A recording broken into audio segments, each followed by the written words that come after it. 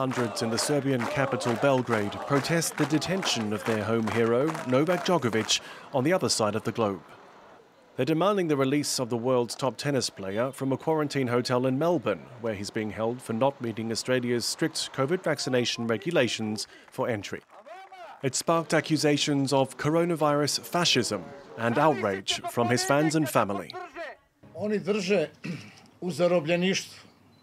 Naš Novak, naš ponos. Novak je Srbija, a Srbija je Novak. Oni gaze Novaka, a sami ti gaze i Srbiju i srpski narod.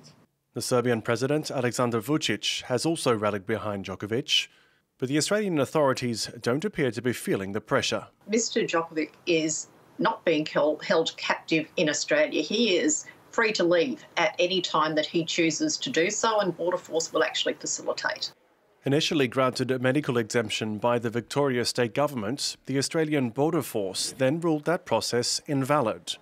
His appeal to overturn the decision will head to court on Monday.